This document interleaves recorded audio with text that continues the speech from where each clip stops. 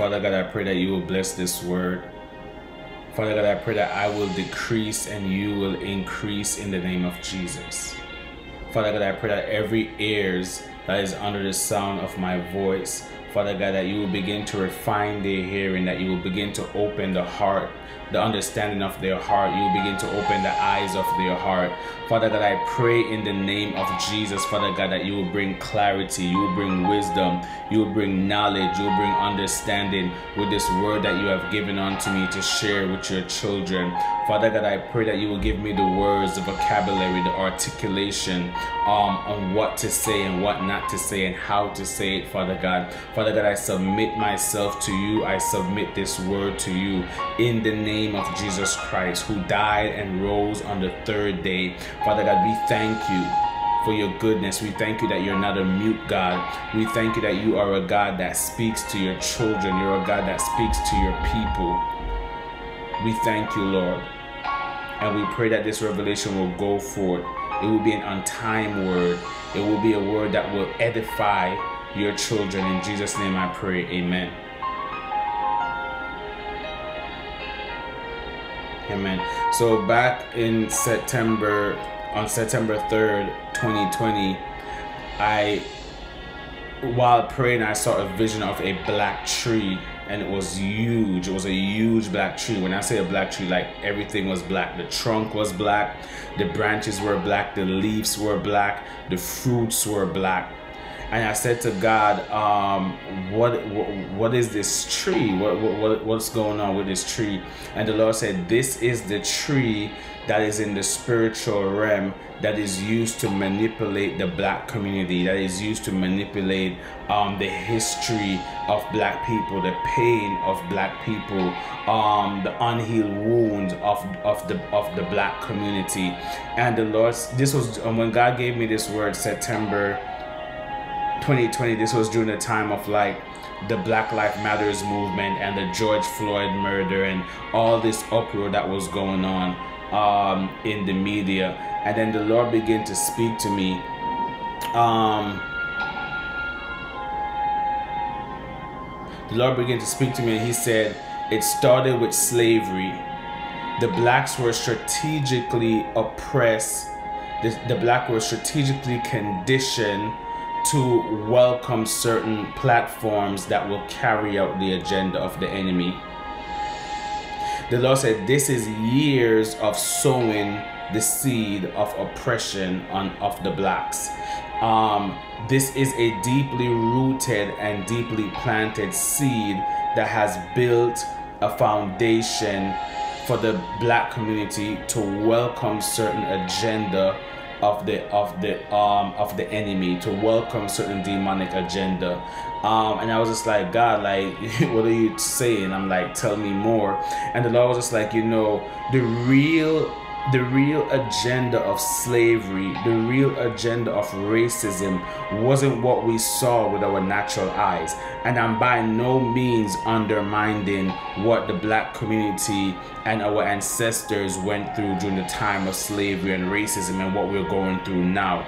I am a black man who have constantly experienced discrimination and racism in the line of work that I do and just in my regular day-to-day -day life um, I, I, I, have experienced and, and constantly have to navigate um, discrimination and racism and stereotype as a black man in America. But the Lord said to me that what we saw, what happened with the black community that we that we saw with our natural eyes, that's not the real agenda. So we saw the black community being on plantation, being enslaved, having to do with segregation in education, having to do with segregation in community and, and neighborhood, and being on the plantation and being slaves and being beaten and being killed and being lynched. And he said, God said, while those things were horrible and wrong in the natural realm.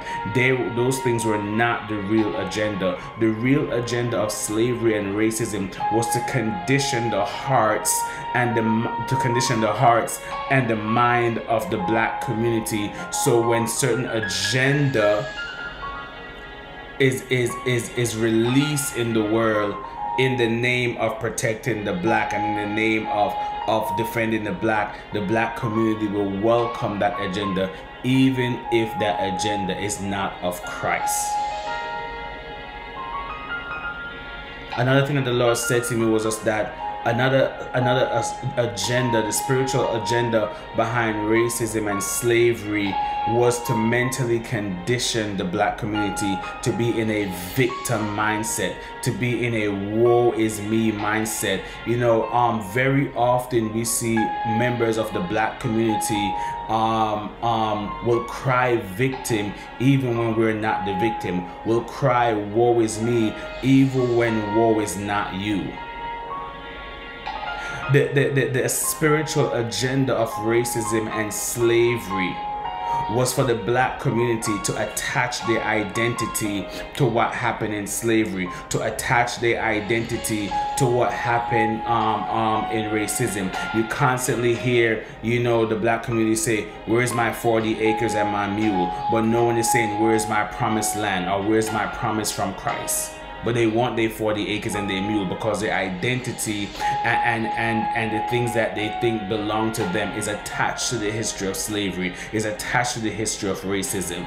And that is the real agenda the spiritual agenda behind racism and slavery was not what happened to the black community and the black race in the natural realm but it was what was being happening in the spiritual realm and that was a conditioning of the minds and the heart to let the black community to be a community community that welcome the agenda of the enemy. When I say the agenda of the enemy, I'm talking about uh, um, stuff like BLM, the Black Lives Matters movement. This is by no way exposing that movement because by now that movement have been exposed that it is not of God and was never of God. So we know that. And if you don't know that by now, well now you know and you, you should go do some homework on the Black Lives Matters movement. But one of the reasons why the black community and the, the black race welcome the Black Lives Matter movement and and and and, and um and um, just, you know, welcome it with open arms is because we were conditioned to conditioned to not to believe that we have never been protected. We, we, we were conditioned to believe that we needed protection from these imposters and from these facade that claim that they're protecting us. The Lord said that, you know, the spiritual agenda behind racism and slavery was to leave the black community in a place of hurt and unhealed wound. Because when we are hurt and we're unhealed, it distorts our perspective on things. When we are hurt and we're unhealed, it dilutes our discernment discernment. When we are hurt and unhealed, it allows us to look for a quick fix to medicate the pain that we're feeling. Hallelujah. It was an agenda of the enemy. It was an agenda of the enemy. Divide and conquer. Break, break, break them so we can make them ours. That's what the enemy said. Hmm. So then I continued, then the Lord said to me, Therefore, it will take a divine move, a revival to uproot this seed. This is a tree of blackness, said the Lord. So slavery was slavery was um a seed. Racism was a seed. Segregation was a seed. What else? Um um um the the the the social gap the, the unemployment, the not having a right to vote, all of those things were a seed that was being planted in the black community to, birth, to, to bring to life this tree of blackness. That it is and this tree of blackness now bear black fruits. And some of these black fruits are the black lives matters movement another black fruit like so in the spiritual realm i saw that this tree had black fruits and one of the black fruits were labeled um blm another black fruit was was the name of a black our first black president that went into power. And we saw how the black community welcomed him even though he implemented laws and policies that that was that was disrespectful and did not honor the word of god we welcome him because we're hurt, we're broken, we're healed. So any black person that goes into power is a milestone and a success for the black community. We don't take time to discern them. We don't take time to analyze them. We don't take time to see if their agenda is of God. We don't take time to see if they're going to even do anything that's going to uplift the black community. The moment a black person go into power, we praise them. We, we shout, yes, we have arrived. So one of the black fruits on the tree was the Black Lives Matters movement. One of the, the, a couple of the black fruits on the trees were were the names of different black people who are in power, who we we praise because we believe we have arrived. We have somebody in powership. We have somebody in the presidential seat that look like us, that represents us, and because of that. It, it, it, it, it, we welcome their agenda, even if their agenda is not of God. They needed the vote of the black community. They needed the approval of the black community. They needed the voice of the black community. So they conditioned us over years and over time and for 400 years. So when this time come for them to push their agenda, we would receive it with open arms. We wouldn't question it.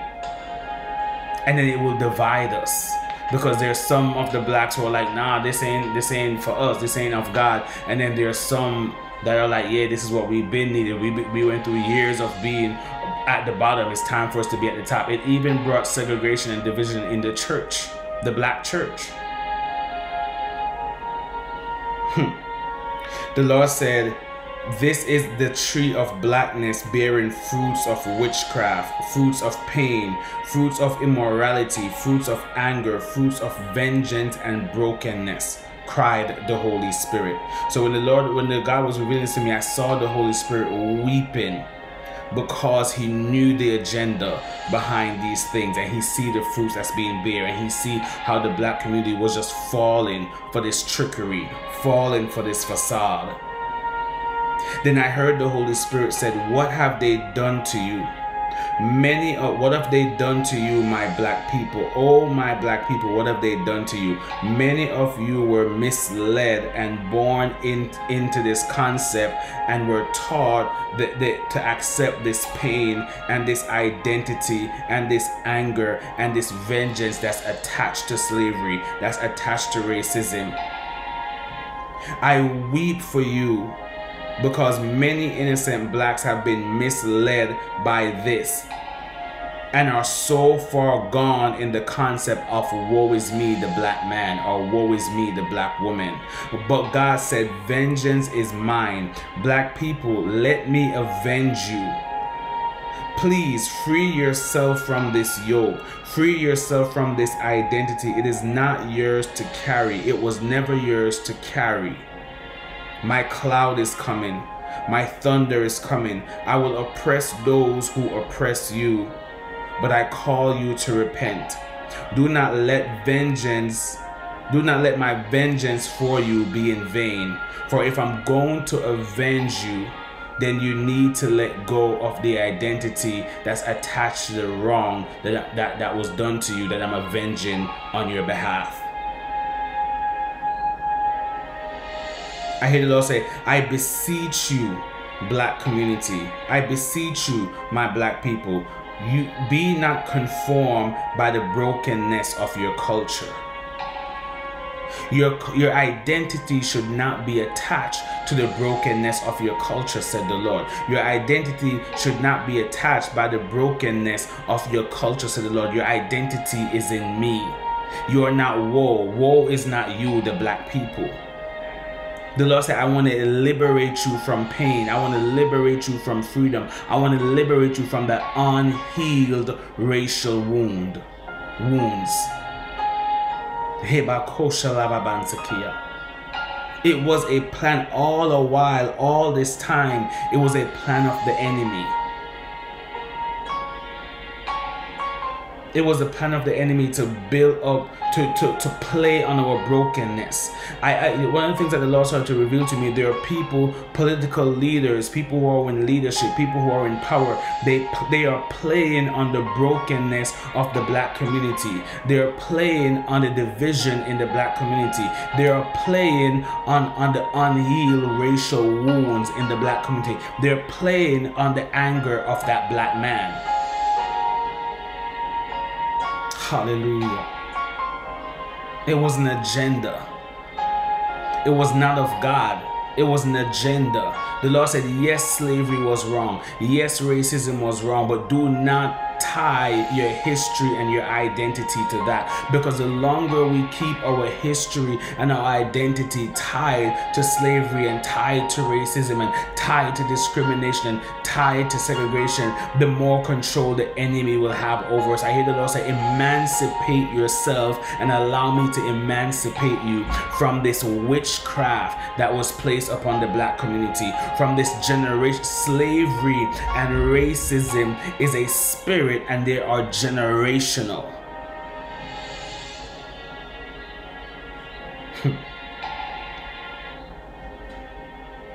Hallelujah. The black tree. The black tree. The black tree that's bearing black fruits. That's bearing black fruits. We're stuck in a victim mindset as a black community. We're stuck in a victim mindset as black people because of what they have done to us, because of how they have conditioned us. We're, we're not healed. We're not healed as a community. We're not healed as a people. And as a result of that, we are divided. And that was the plan of the enemy all along. They needed the voice of the black people. They needed the vote of the black people. They needed the approval of the black people. That one particular political party that is just running with the agenda of the enemy. I'm not saying that either of the political political party, none of them is holier than thou, and none of them is perfect. But there's just that one political party.